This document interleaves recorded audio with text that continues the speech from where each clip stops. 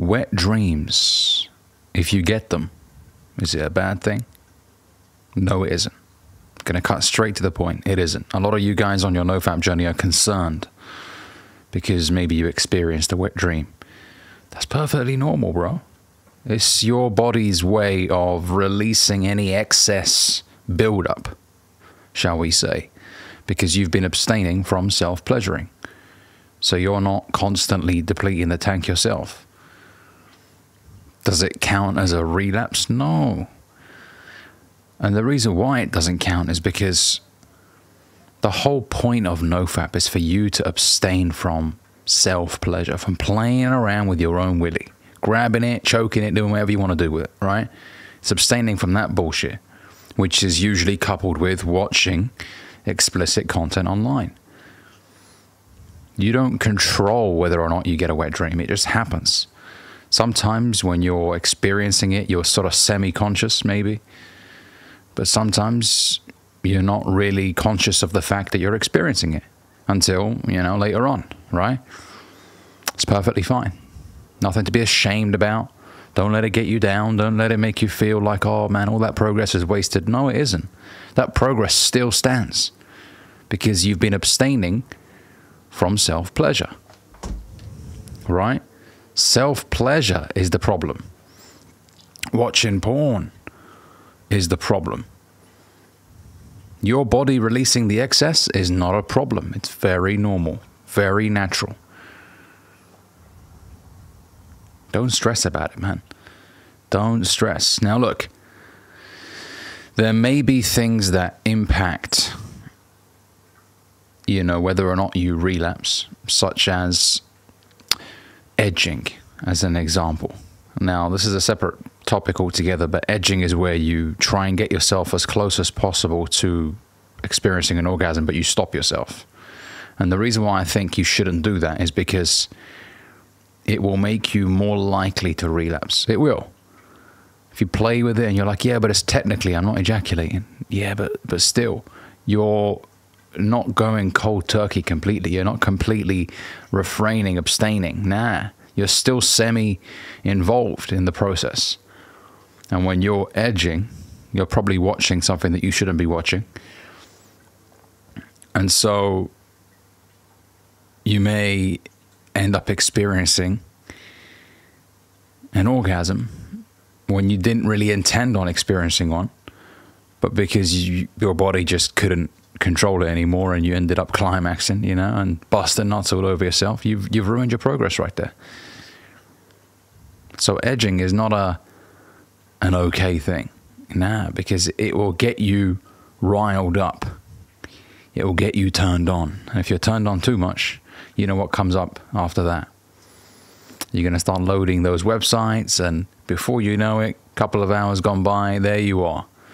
Busted nuts all over yourself. Okay, so abstain from edging.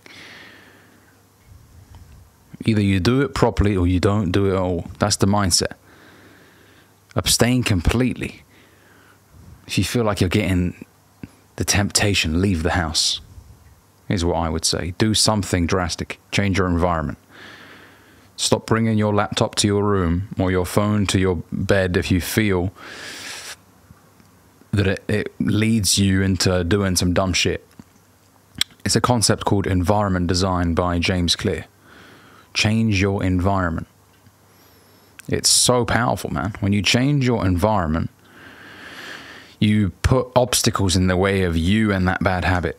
If it's cigarettes, for example, you just stop putting them somewhere where you can see them in, initially. If it's drinking, you throw the bottles out of your fridge into the bin. So now, and, and these, these could be unopened bottles, right? Unopened cans. Now that they're in the bin, the thought of you having to rummage through the bin to grab them again is off putting especially if there's a bunch of shit in there, tuna and some fucking leftover dinner. You're not going to put your arm down there and right. So create obstacles in the way of you and the bad habit. If you put your phone downstairs somewhere, you're like, oh, when you're nice and toasty in bed, the thought of you leaving bed, going downstairs, getting the laptop, bringing it back up, maybe putting it in charge, turning it on, putting your password in, all of those steps just for you to then load up the hub. It just makes you more likely to be like, you know what, fuck off. I can't be asked. Right? Create obstacles in the way. Environment design, powerful concept. You know, I applaud you guys for because I get messages every day. I applaud you guys for trying your hardest. It's not an easy thing to overcome. You know, your addiction to pornography and masturbation. It's challenging, man. And I talk about it on this channel on a regular basis because I understand the detrimental impact it has on so many lives. Right? I don't see it as a, a weird topic to talk about. No, it's important that we talk about things like this so that we can together overcome them. They want us weak. They want us to be consumed by our desires. They want us docile, less aggressive, right? No, we're not going to let our desires control us. We're going to get a control over our desires. And like I said, the urges that you experience, perfectly normal as well. Don't feel like, oh, why am I getting the urges? Normal. It's a good thing that you feel horny as a, as a grown man. That's a good sign that you've got testosterone running through your body, everything's working the way it should. If you're not feeling horny whatsoever for months and months and months, then maybe I would recommend that you go see a doctor, right? But if you are feeling turned on and you want to do some shit, that's okay. Direct that sexual energy to your goals.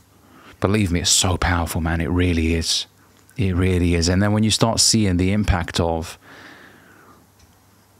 directing that sexual energy, you'll fall in love with the results. Right? You're like, man, since abstaining from this shit, since directing this energy into my business, things have just improved so much in my life. I've, I've created so much, I've produced so much. You look at the work that you've produced, you're like, wow, all of that happened after I abstained from this bullshit that I was doing before. Because, you know, porn just eats up at your life, man. It drains your time as well as your ball sacks, right?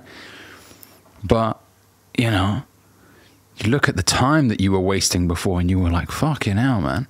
With this time that I have now, I'm doing so much. I'm accomplishing so much. The progress is evident. And you fall in love with the progress. And like I said in some of my previous NoFap videos, once you start stacking those W's, those wins, you're more likely to abstain from relapsing because you're like, man, I've made so much progress. I don't want to ruin it by playing around with myself right now. And you start seeing it as a really goofy, silly act over time. Right now, you might see it as, well, no, oh, it's just a way for me to detox and relax or whatever. But after a while, you look back and you're like, man, it's such a pathetic thing to do.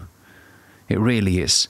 And then when you start attracting a higher caliber of women then you feel like oh, I'm a I'm a successful man. I'm doing well for myself. I don't need to play around with myself. That's stupid. No, I'm not going to do that. I'm going to attract a beautiful woman into my life and we're going to have an incredible sex life. There's nothing wrong with having sex. There's nothing wrong with ejaculating. But busting nuts on yourself by watching porn on a screen, now that's a problem. It really is. It's devastating what it does to your life. Okay, but it's remarkable what can happen when you abstain and you put that focus into your goals, into your health.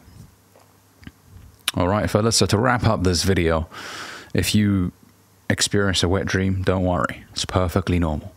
It's your body's way of releasing any excess. Don't stress about it. You haven't relapsed. No, you only relapse when you pick up your phone, you load up the hub, and you start busting one off. Okay, and don't edge, as I mentioned edging is going to get you riled up and you're more likely to relapse as a result. Okay? It's like if you want to quit smoking, you're not going to hang around four or five people that are smoking outside a coffee shop. It's going to get you feeling some type of way. Environment design, remember that. Thanks for watching, fellas. If you enjoyed this video, make sure you give it a like. Comment, let me know what you think down below. And if you're new here, consider subscribing. I'll see you in the next one.